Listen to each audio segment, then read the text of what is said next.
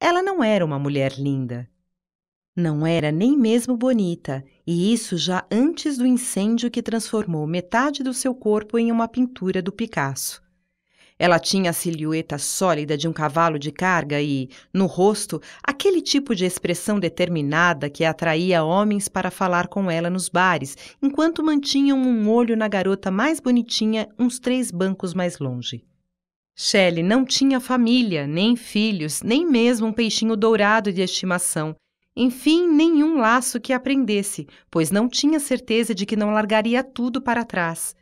Basicamente, oito anos depois do incêndio que quase a matou, Shelley tinha conseguido não adicionar nada nem ninguém à sua vida.